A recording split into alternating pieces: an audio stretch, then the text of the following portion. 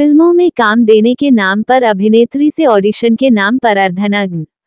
मुंबई की Malad cyber police ने एक ऐसे फर्जी कास्टिंग डायरेक्टर को गिरफ़्तार किया है, जो फेसबुक प्रोफ़ाइल में खुद को फ़िल्म इंडस्ट्री के बड़े बैनर का कास्टिंग डायरेक्टर लिखकर नई फ़िल्म अभिनेत्रियों को मुंबई बनने वाले फ़िल्म व वेब सीरीज़ में काम देने के नाम पर पहले उनका अर्धनग्न फ़ोटो लेता था। फिर उस फ़ोटो को सोशल मीडिया में डालने के नाम पर लड़की से कास्टिंग काउच करने के लिए कहता था, या पैसों की माँगता था। पकड़े गए आरोपी का नाम ओम प्रकाश तिवारी है, जिसकी उम्र 24 वर्ष है, जो हाउस कीपिंग का काम करता है, लेकिन फेसबुक पर खुद को नेटफ्लिक्स प्रोडक्शन हाउस का कास्टिंग डायरेक्टर बताता है, आरोपी पहले फ़िल्म लाइन में भी कम कर चुका है। पुलिस ने बताया कि एक बंगाली अभिनेत्री आरोपी से दिसंबर 2021 में ऑनलाइन संपर्क के ज़रिए आई थी, जिसके बाद आरोपी ने अभिनेत्री को मुंबई में मिलने के लिए बुलाया और वेब सीरीज़ व फ़िल्मों में काम देने के नाम पर अभिनेत्री से ऑडिशन के नाम पर अर्धनग्न लिया। मलाड पुलिस अभिनेत्री की शिकायत पर आईपीसी 345 ए, बी, सड़सठ ए के तहत मामला दर्ज कर 48 घंटे के अंदर आरोपी को गिरफ़्तार कर लिया है। पुलिस ने बताया कि पीड़ित लड़की कोलकाता की रहने वाली है और वहाँ की बंगाली फ़िल्मों में काम कर चुकी है। कोरोना काल में काम नहीं मिल रहा था, इसलिए हिंदी फ़िल्मों काम करने के लिए ऑनलाइन आरोपी के संपर्क में आ गई थी। पुलिस अब इस बात की जाँच कर रही है कि इस आरोपी ने और कितनी लड़कियों को फ़िल्मों में काम देने के नाम पर ब्लैकमेल किया है।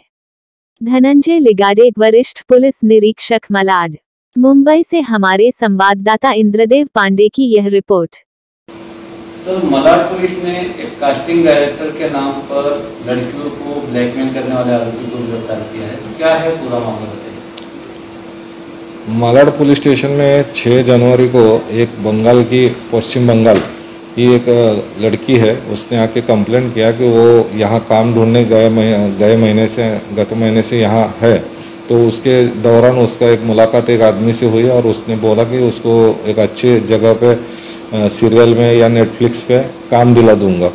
ये काम दिलाने के लिए उसने उसके साथ में एक एग्रीमेंट किया, उसके लिए कुछ पैसे भी ले लिया और उसके बाद में, कुछ दिनों के बाद उसने बोला कि अगर आपके अच्छे फ़ोटो है हाफ़ नेकेड फ़ोटो है तो आपको भेजना पड़ेगा। तो जिसके पास आपको काम करना है उनको दिखाने के लिए। तो उसने उसके लिए नकार दिया, लेकिन उसके बाद में उसने एक फेक अकाउंट लड़की के नाम से अपना क्रिएट किया और लड़की के द्वारा इसके साथ चैटिंग की, उस कंप्लेनेंट के साथ में। और उसको कन्विंस किया कि फ़ोटो देना ज़रूरी है। तो उसके बाद में उसने फ़ोटो ये बंदे को भेज दिए और ये बंदे ने फिर फ़ोटो लेने के बाद में उसके साथ ब्लैकमेल शुरू कर दिया कि अगर तुमको काम चाहिए तो कॉम्प्रोमाइज़ करना पड़ेगा। अगर नहीं किया तो मैं ये फ़ोटो वायरल कर दूँगा।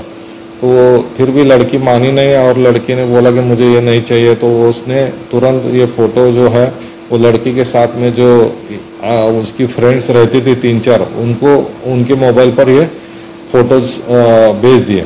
तो बाद में वो लड़की ने यहाँ के कंप्लेंट कर दिया।